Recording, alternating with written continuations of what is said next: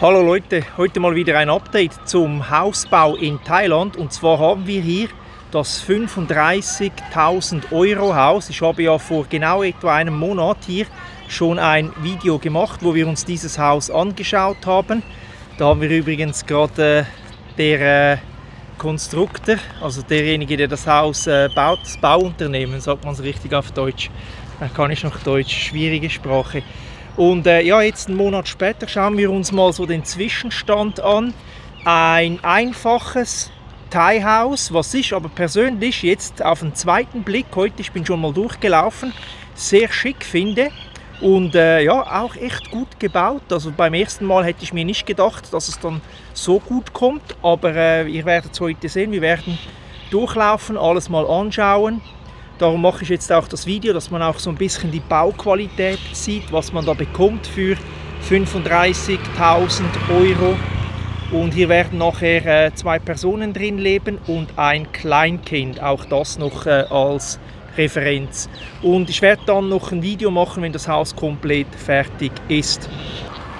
Ja, im Vergleich zum letzten Mal haben wir jetzt auch vorne beim Eingang eine Treppe oder die Stufen hier das war beim letzten Mal noch nicht. Dann werdet ihr auch sehen, dass das meiste schon verputzt ist. Dann auch die Decke im inneren Bereich ist schon drin. Steckdose, also die ganzen Stromleitungen sind auch schon drin und Wasser ist auch komplett verlegt und eben die Badezimmer verputzt. Äh, ich habe beim ersten Video ja auch ein Foto noch äh, gepostet. Ich werde das erste Video hier noch verlinken, damit man auch sehen kann, wie das dann ausschauen soll, wenn es fertig ist. Aber äh, hier ist mal eine schöne breite äh, Treppe. Hier haben wir dann den Eingangsbereich. Alles ja, wie schon im letzten Video gesagt, mit äh, Itonsteinen oder äh, ja, es gibt auch noch andere Begriffe, je nachdem, was man für eine Marke nimmt. Aber äh, das sind Siebnersteine, teilweise doppelt gemauert, wie man auch hier sehen kann. Oder dreifach sogar hier beim Eingangsbereich. Das kann man schnell schauen. Ja, das sind sogar drei Lagen. Interessant. Hätte man wahrscheinlich auch gleich größere Steine nehmen können.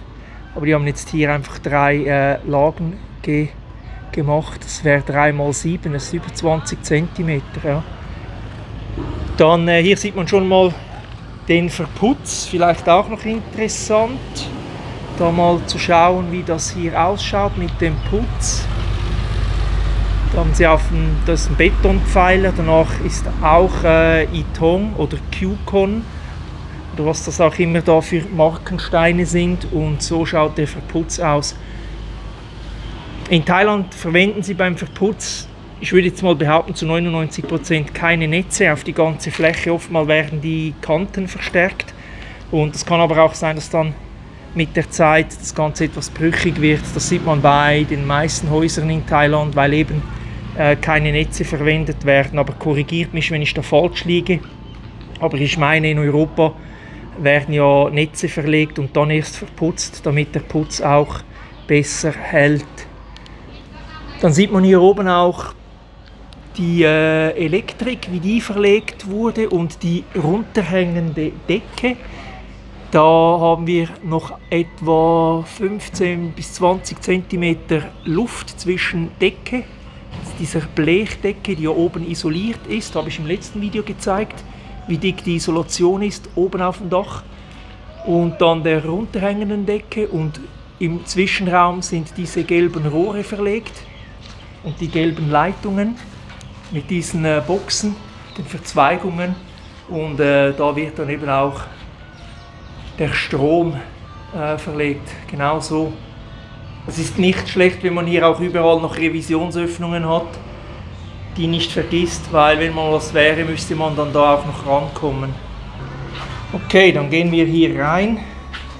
Da sind gerade die Arbeiter noch, da gehe ich nur ganz kurz, aber äh, ja, die Räume kennt ihr ja schon vom, vom letzten Video, da drin wird noch gearbeitet. Da, was ist äh, dem Bauunternehmer schon gesagt habe, ich finde es gut, dass sie mittlerweile auch viele Steckdosen verlegen, auch bei den etwas äh, preiswerteren Häusern, weil Steckdosen ist ja oftmals, wenn ihr vielleicht ein fertiges Haus kauft, das seht ihr ja dann, dass immer ein Mangel an Steckdosen besteht.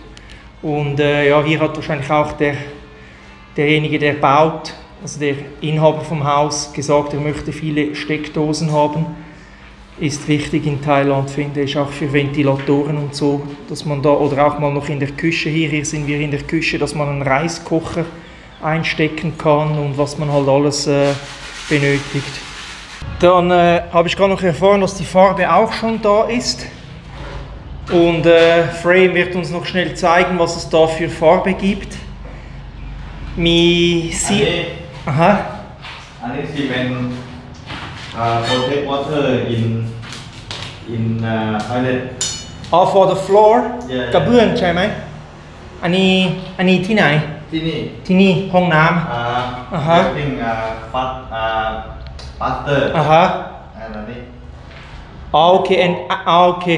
Also im, im Badezimmer äh, kommt da noch so ein spezieller äh, Mörtel oder Zement. Waterproof, sagt ja schon alles, also so wasserdicht. Ich glaube, das nehmen sie, dass eben der Boden dann auch äh, wasserdicht ist, bevor dass die, die Fliesen draufkommen. Hier, also er wird von Toa, Toa ist eine bekannte Marke in Thailand. Und äh, dann die Farbe Anisi Kao, Jemme? Anisi Inside. Aha. Ja. Ah, okay. Inside. Ja, das ist, äh, das ist dann die Farbe. Da haben sie so Muster oben drauf. Ich glaube, die kann man sich. ยนะ ไม่เหมือนเหมือนกันไหม ไม่เหมือน ใช่นะ ไม่ Ah, เหมือน okay. Ja. อันนี้ Die ist ein bisschen gelblicher, leicht, so ganz leicht. Ah, die erkennt outside, man's. outside. Ah, die outside, ah, okay. yeah อันนี้ inside Gut, das ist für innen und die ist für außen.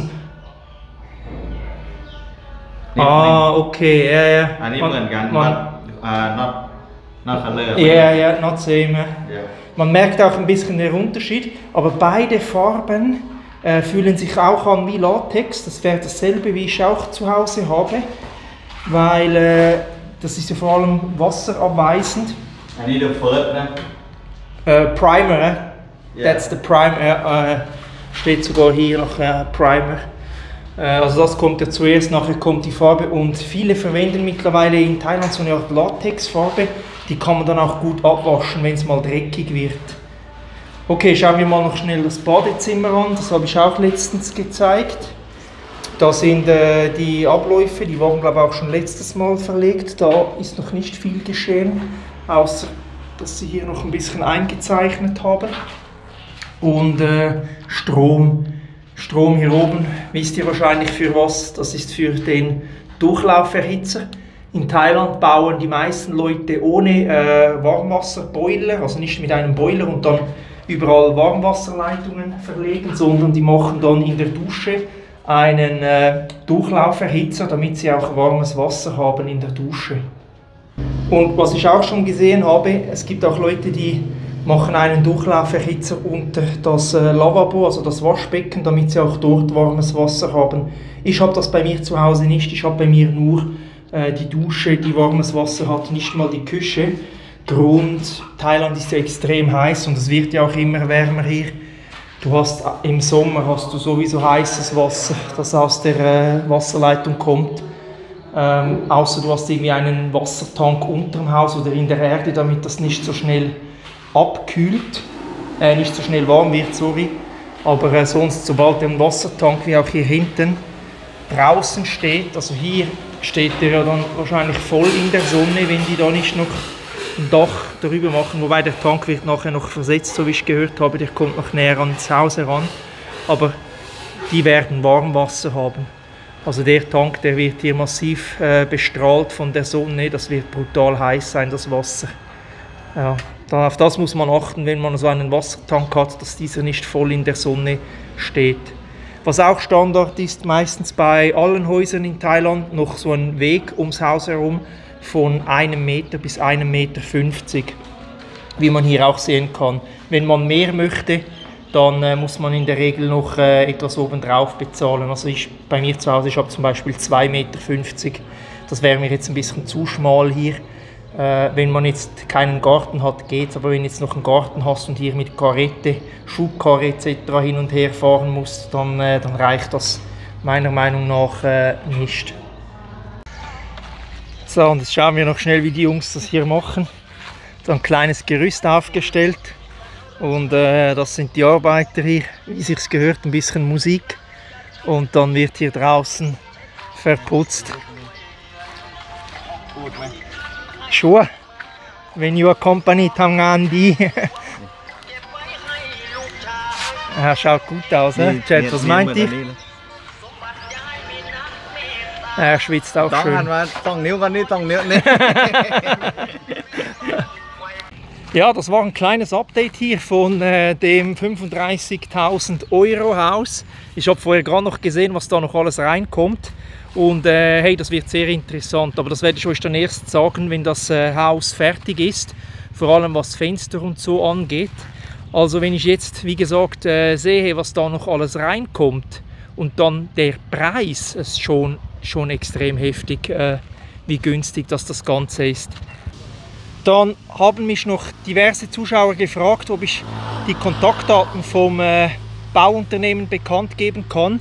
Ich habe das im letzten Video gemacht, das steht in der Videobeschreibung. Ich werde es hier auch wieder rein posten in die Videobeschreibung. Aber die machen nur Häuser in Cha'am. Ich habe das auch schon im letzten Video gesagt, sie machen nur Häuser in Cha'am. Swimmingpools etc. Vor allem die Swimmingpools, die sind Weltklasse. Die haben meinen Pool gebaut bei mir zu Hause und ich glaube, den kennt ihr ja bereits, den habt ihr ja auch schon gesehen, wie toll der ausschaut. Und die machen das wirklich nur in Cha'am. Sie haben sehr viele Anrufe bekommen nach dem letzten Video aus äh, Chiang Mai, Hua Hin, Südthailand, also von überall äh, von, von euch, die auch gerne ein Haus haben oder einen Pool. Aber sie machen wirklich nur hier in Cha'am. Die haben so viel Arbeit die, äh, die bleiben nur hier. Also sorry für all diejenigen, die etwas enttäuscht sind, dass die Baufirma da nicht in ganz Thailand Häuser baut, aber es ist halt so ein lokaler Bautrupp, der nur hier in Cham Häuser und Pools baut. Dann sehen wir uns im nächsten Video, wenn du magst. Bleib gesund und Grüße aus dem heute sehr feuchten und heißen Thailand.